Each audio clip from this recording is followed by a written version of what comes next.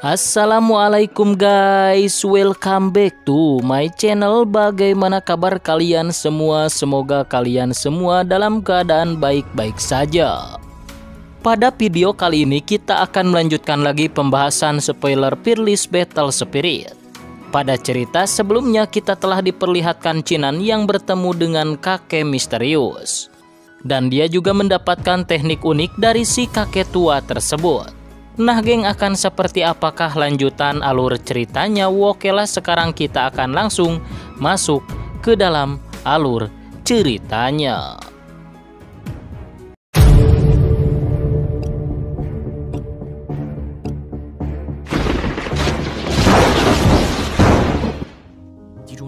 Beberapa saat kemudian Cinan diberikan sebuah gulungan surat dari Xiao Leng.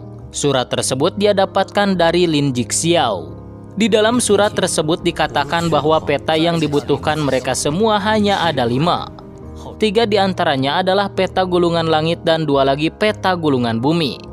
Sedangkan Lin Jixiao hanya memiliki dua peta gulungan bumi dan dua peta gulungan langit.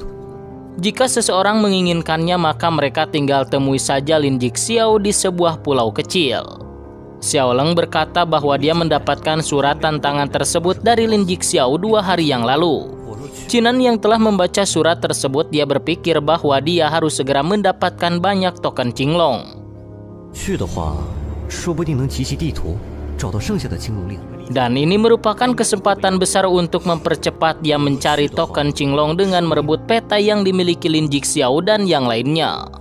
Cuyun berkata bahwa Lin Jixiao berani melakukan ini tentu dia telah membuat persiapan yang sangat matang. Cinan kemudian berkata tentu mereka harus pergi ke sana dan menerima tantangan dari Lin Jixiao. Jika nantinya mereka semua dalam bahaya, maka Cuyun dan Xiaoleng tinggal kabur saja karena Cinan tidak ingin mempersulit mereka.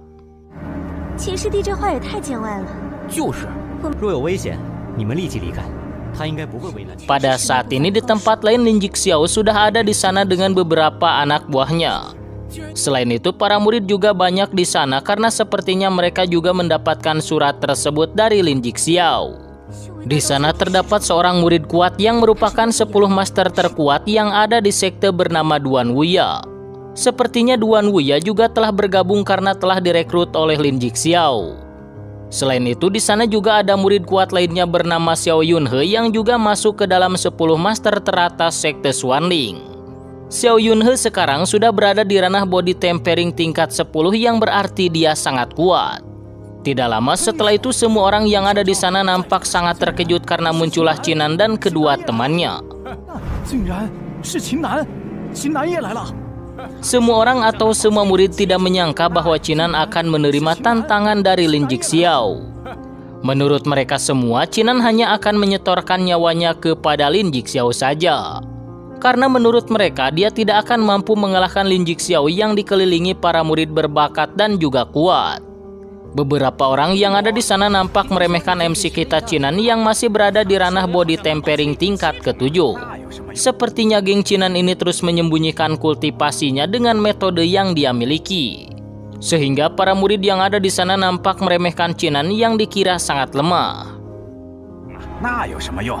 照样挡不住林子霄师兄一招。 呀，他的修为好像达到淬体七重了。娃娃，听说你最近实力大涨啊！哼，少废话，想动手就站出来。Lin Jixiao kemudian berkata ternyata sampah seperti Cinan berani datang ke tempat ini untuk menyetorkan nyawanya. Selain itu dia juga tidak menyangka ternyata sampah seperti Cinan mampu mengalahkan Tuan Muda Yinsa. Semua murid yang ada di sana mendengar itu menjadi sangat terkejut dan tidak menyangka Cinan yang dikira lemah dan sampah oleh mereka semua mampu mengalahkan Tuan Muda Yinsa yang sangat kuat.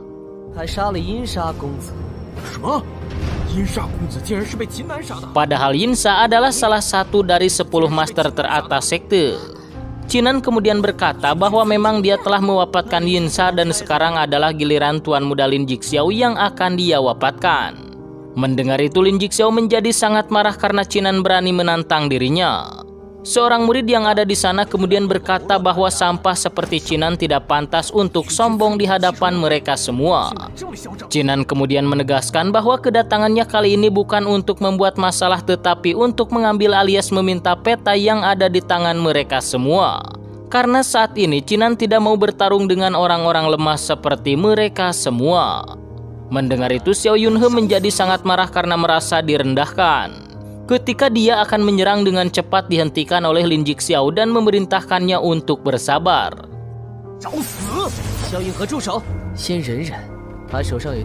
Karena menurut Lin Jixiao dia memiliki salah satu dari gulungan peta yang dibutuhkan oleh mereka semua. Lin Jixiao kemudian berkata bahwa dia tidak menyangka pecundang seperti Cinan akan mendapatkan peta yang sangat berharga. Lin Jixiao meminta agar Cinan segera menyerahkan peta tersebut dan dia akan mengampuninya. Cinan yang mendengar itu dia tenang-tenang saja dan kemudian berkata, jika Lin Jixiao menginginkan peta yang ada di tangannya maka Cinan meminta ditukar dengan empat peta yang ada di tangan Lin Jixiao. Mendengar itu Lin Jixiao menjadi sangat marah karena merasa dipermainkan.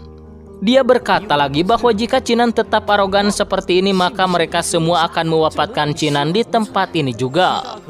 Cinan kembali berkata jika mereka semua benar-benar ingin mewafatkannya maka silahkan coba saja.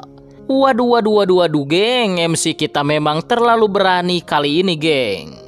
Mendengar itu, Lin Jixiao menjadi sangat marah namun tiba-tiba. Huang Long? 你这种虚伪小人的极限在哪儿？那我倒想看看。好强的气势，看来他应该已经达到了半步先天。Tiba-tiba seseorang tertawa tidak jauh dari tempat itu. Murid tersebut berkata bahwa dia ingin mencoba kekuatan Lin Jixiao yang selalu sombong dan ingin menindas orang lain. Orang tersebut adalah si botak yang bernama Huang Long. Cinan juga dapat merasakan bahwa kekuatan Huang Long sekarang semakin kuat daripada sebelumnya. Wang Long pun turun dari atas bukit dan mendekati Lin Jixiao.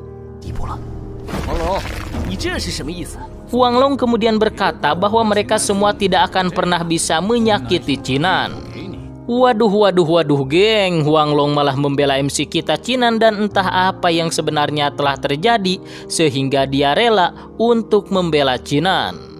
Wang Long berkata lagi, jika mereka semua tetap ingin merebut peta yang dimiliki Cinan, maka dia dan Cinan akan bekerja sama untuk melumpuhkan semua murid yang ada di sana.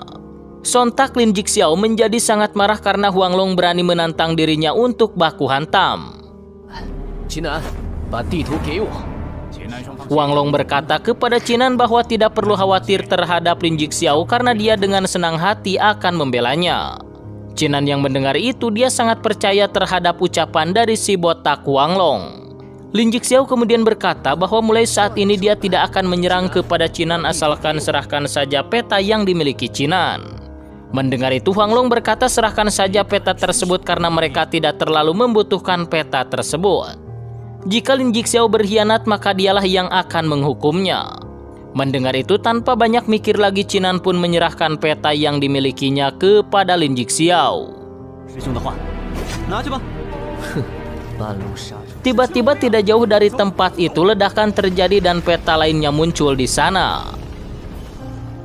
Namun tiba-tiba mereka semua sudah berada di suatu tempat yang dipenuhi dengan hutan bambu. Semua orang yang ada di sana sangat terkejut karena tiba-tiba saja mereka semua sudah berada di tengah hutan bambu purba. Beberapa saat kemudian muncullah seorang tetua yang terlihat sangat kuat.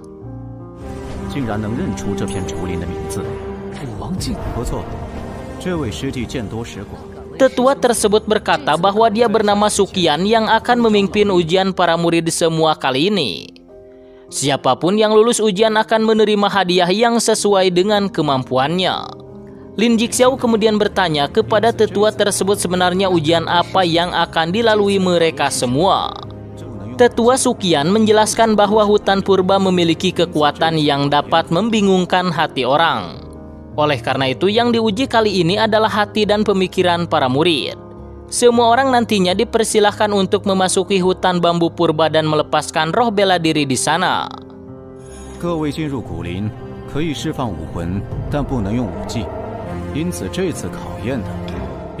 Tetapi di sana mereka semua tidak akan bisa menggunakan seni bela dirinya masing-masing. Pemenang tiga teratas ujian tersebut akan menerima hadiah. Hadiah juara pertama akan mendapatkan 10 token cinglong. Sementara juara kedua akan mendapatkan 6 token cinglong dan juara ketiga akan mendapatkan 4 token cinglong. Siapa pun yang dapat melewati seribu langkah ke dalam hutan bambu purba akan mendapatkan semua token cinglong yang ada di sana. Namun sampai saat ini dalam sejarah belum ada yang dapat melakukan hal tersebut. Jika mereka tidak memiliki hati yang teguh dan kuat, kemungkinan nantinya setelah keluar dari hutan bambu purba akan menjadi gila dan bahkan mungkin akan wafat. Semua murid yang ada di sana nampak sangat terkejut dan sedikit ketakutan dengan ujian tersebut. Setelah itu tetua Sukian memerintahkan mereka semua untuk segera memasuki hutan bambu purba. Beberapa orang yang ada di sana nampak ketakutan dan tidak mau memasuki hutan bambu purba. Pada saat ini terlihat pemuda yang sangat kuat bernama Wang Hu yang sudah berada di ranah body tempering tingkat 8. Dia sangat kuat bahkan para murid lainnya juga berkata bahwa Wang Hu telah banyak mewapatkan para murid kuat lainnya. Wang Hu tanpa pikir panjang kemudian melesat memasuki hutan bambu yang ada di sana. Beberapa orang yang ada di sana nampak sangat terkejut karena dengan cepat dia sudah mencapai 200 langkah saja memasuki hutan bambu. Semakin memasuki hutan bambu purba, tekanan yang didapat oleh Wang Hu juga semakin tinggi. Sehingga dia pun segera mengekstrak kekuatannya, namun tiba-tiba dia malah memuntahkan seteguk darah karena tidak sanggup melewati tekanan tersebut yang sangat kuat. Semua orang yang ada di sana nampak sangat terkejut karena ternyata hutan bambu purba benar-benar sangat bahaya. Wang Hu yang sudah tidak sanggup melanjutkan perjalanannya lagi kemudian berhenti di langkah yang ke-300. Tetua Sukian memuji keberanian Wang Hu yang sudah berhasil mencapai 300 langkah memasuki hutan bambu purba. Tetua Sukian kemudian memberikan hadiah 100 pil abadi yang langsung diberikan kepada Wang Hu. Beberapa murid yang melihat Wang Hu telah mendapatkan hadiah 100 pil abadi mereka juga menginginkannya. Beberapa murid langsung melesat memasuki hutan bambu purba.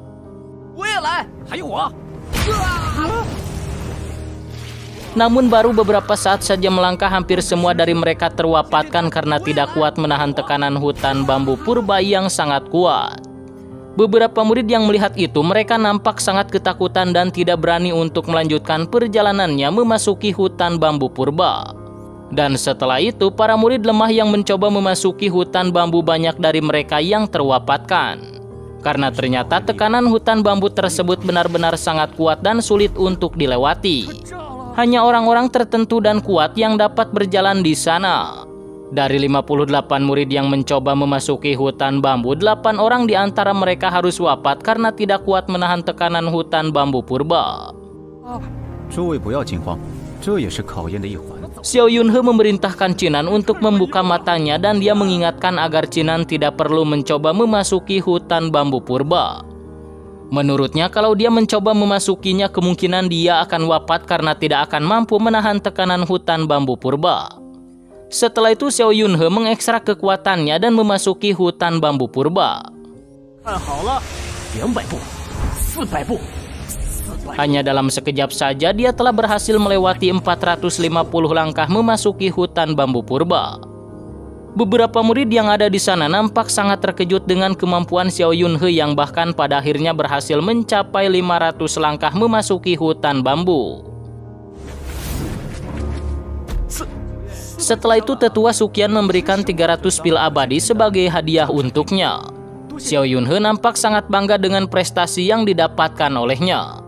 Bahkan dia mengejek Cuyun dan Xiao Leng yang menurutnya tidak akan mampu melewati ujian sampai 500 langkah memasuki hutan bambu. Selain itu, murid yang diandalkan oleh mereka berdua yaitu Cinan menurutnya dia sangat tidak berbakat dan pasti tidak akan mampu melewati 100 langkah pun di ujian hutan bambu purba. Xiao Leng memerintahkan Xiao Yunhe untuk jangan bersikap sombong di hadapannya. Huang Long kemudian berkata bahwa 500 langkah saja memasuki hutan bambu purba malah sudah berani bersikap sombong di hadapan orang lain. Menurut Huang Long, 500 langkah mas sangat mudah untuk dilewati jadi tidak perlu ada yang harus dibanggakan. Lin Jixiao yang mendengar itu, dia menantang Huang Long untuk bersaing dengannya siapakah yang lebih mampu jauh melangkah memasuki hutan bambu purba. Huang Long pun menyanggupi tantangan dari Lin Jixiao.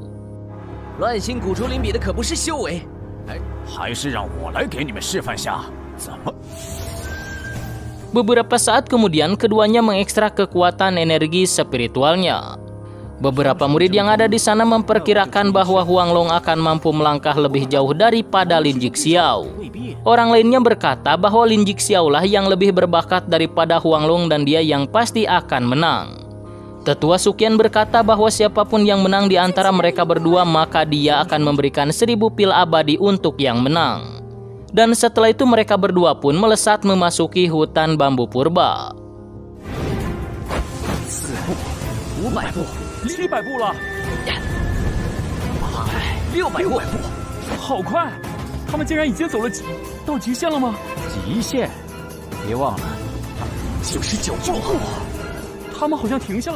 Hanya dalam waktu beberapa saat saja mereka berdua telah berhasil mencapai 700 langkah. Sehingga membuat para murid yang ada di sana nampak sangat kagum kepada mereka berdua. Tidak lama setelah itu mereka berdua mengekstrak martial spirit senjatanya masing-masing. Dan setelah itu mereka berdua pun melangkah memasuki lagi hutan purba semakin dalam. Namun tekanan yang diterima oleh mereka berdua juga semakin kuat dan pada akhirnya Huang Long tidak kuat lagi bertahan dan dia pun terpental.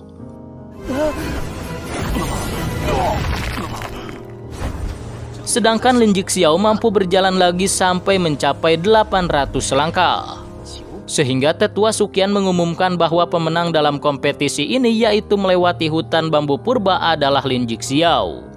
Karena dialah orang yang paling dapat melangkah jauh di dalam kompetisi tersebut. Namun beberapa saat kemudian Cinan berkata bahwa dia memiliki pendapat. Cinan kemudian berkata bahwa dia tidak setuju dengan hasil yang diumumkan oleh Tetua Sukian karena menurutnya dia belum memasuki hutan bambu purba tersebut tapi kenapa tetua malah sudah mengumumkan juaranya. Ah, tetua Sukian kemudian berkata apakah kau pede bisa melewati langkah Lin Jixiao. Semua murid yang ada di sana menganggap sepele Cinan yang masih berada di tingkat tujuh. Para murid yang ada di sana memperkirakan palingan nantinya Cinan hanya akan dapat melangkah paling jauh 300 langkah saja. Cinan kembali berkata kepada tetua Sukian bahwa dia ingin mengikuti ujian memasuki hutan bambu purba tersebut. Tetua Sukian pun mempersilahkan dia untuk mengikuti ujian hutan bambu purba. Namun si tetua nampak tidak percaya kalau dia nantinya akan dapat melampaui pencapaian yang dimiliki Lin Jixiao. Cuyun juga sangat khawatir dan bingung karena Cinan ingin memasuki hutan bambu purba yang sangat berbahaya. Xiao Yunhe memperkirakan bahwa nantinya Cinan akan terwapatkan ketika memasuki hutan bambu purba sebelum mencapai langkah ke-300 saja. Beberapa murid yang ada di sana membuat taruhan bahwa menurut mereka Cinan tidak akan mampu melewati 300 langkah. Huang Long juga tidak menyangka bahwa Cinan akan memasuki hutan bambu purba untuk menyaingi Lin Jixiao. Pada saat ini Cinan pun melesat memasuki hutan bambu purba.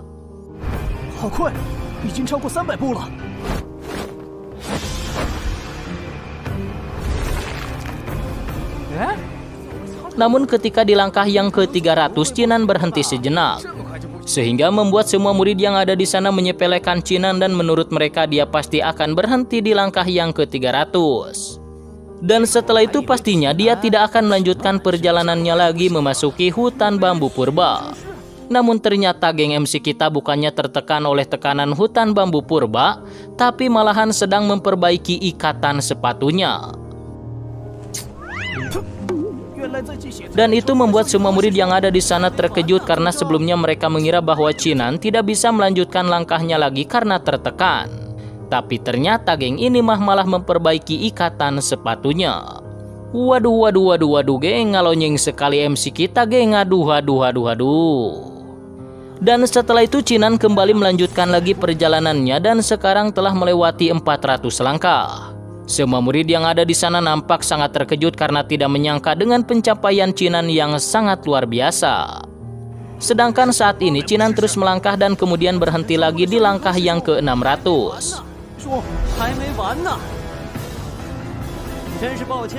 Cinan berhenti sejenak dan berkata bahwa dia melewati pencapaian Xiao Yunhe yang sangat lemah seperti sampah.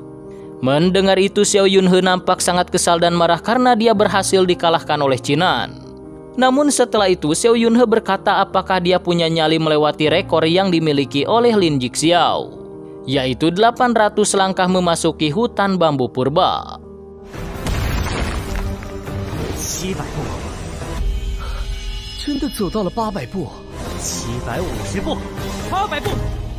Jinan kembali melesat lagi dan baru beberapa saat saja dia telah berhasil mencapai 800 langkah memasuki hutan bambu purba.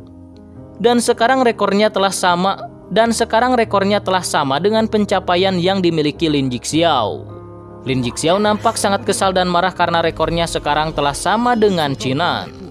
Pada saat ini, Cinan kembali melesat lagi dan berhasil mencapai langkah yang ke-900.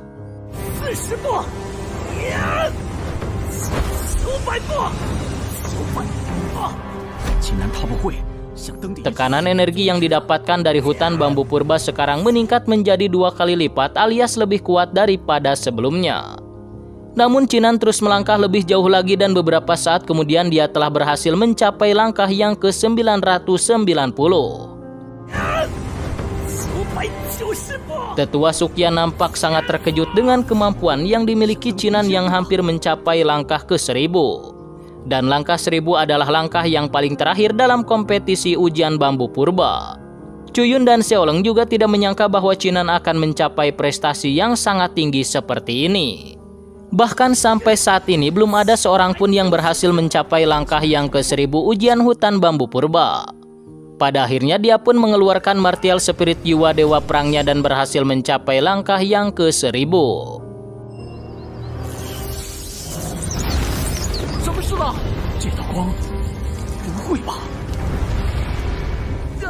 Semua murid yang ada di sana dan juga tetua Sukian terkejut dan tidak menyangka kalau saat ini Cinan berhasil mencapai langkah yang ke seribu ujian hutan bambu purba. Xiao Yunhe dan yang lainnya nampak masih belum percaya kalau Cinan telah berhasil memecahkan rekor yang belum pernah ada yang melakukan sebelumnya. Cuyun dan Xiaoleng juga nampak kebingungan dan terkejut tidak menyangka kalau Cinan saat ini telah mencapai langkah yang ke seribu. 听说玄灵宗有史以来还从来没有人能走到，对吧？这家伙真的是秦南吗？这 Dalam sejarah Sekte Swanling, hanya ada Cinan yang berhasil memecahkan langkah ke seribu ujian bambu purba. Wang Long memperkirakan berarti seni bela diri atau kekuatan Cinan yang dianggap sampah oleh semua murid berarti sebenarnya sangat luar biasa. Cinan kemudian meminta tetua Sukian untuk segera mengumumkan hasilnya karena dia hanya diam saja dan melotot masih belum percaya. Tetua Sukian kemudian mengumumkan bahwa Cinan menempati peringkat pertama dalam ujian hutan bambu purba. Dan hadiah yang dia dapatkan adalah 20 token cinglong yang dimiliki oleh Tetua Sukian. Ini, Cinan kemudian berterima kasih atas hadiah yang diberikan oleh Tetua Sukian. Tetua Sukian juga berkata bahwa hadiah yang tersisa akan dikirimkan nanti kepadanya setelah ujian Pulau Pientin berakhir. Nah geng mungkin hanya itulah yang dapat Min ceritakan untuk episode kali ini. Wokela sekian dari Mimin. Sampai jumpa lagi di pembahasan berikutnya